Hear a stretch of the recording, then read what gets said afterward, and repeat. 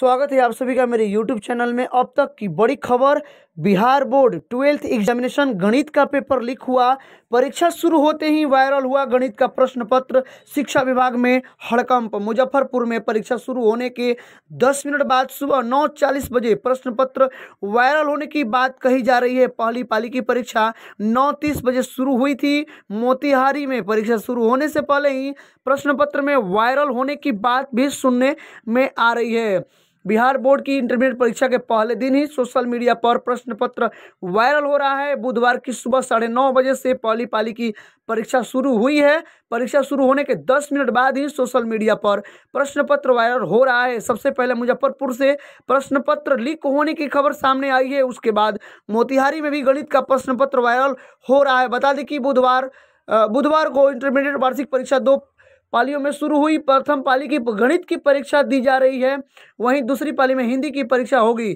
कड़ी में निगरानी के बीच कदाचार मुक्त परीक्षा को लेकर बोर्ड की तरफ़ से लगातार दावे किए जा रहे थे। इस बीच भी गणित का पेपर लीक होने की खबर से शिक्षा विभाग में हड़कंप मचा हुआ है। जैसा कि आप देख पा रहे हैं, मुजफ्फरपुर और मोतिहारी का नाम आ रहा है। परीक्षा होने से दस मिनट बाद पेपर वायरल। देखिए, ये पूरा अपडेट निकल के आ रहा है, बड़ी खबर निकल के आ रही है। बिहार बोर्ड इंटरमीडिएट यानी बारहवीं की परीक्षा, गणित, प्रथम पाली की दस मिनट बाद ही पेपर वायरल हो रहे हैं। जैसे कि आप देख पा रहे हैं, सैंपल में यहाँ पे सैंपल दिख रहा है। आप देख पा रहे हैं, मैथमेटिक्स, गणित, यहाँ पे लिखा हुआ है 2023 का।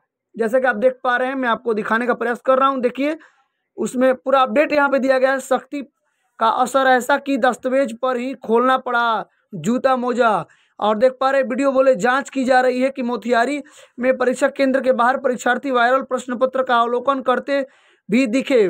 पूछे जाने पर छात्रों ने बताया कि प्रश्न को वायरल हुआ है, मगर सही है या गलत कहना मुश्किल है।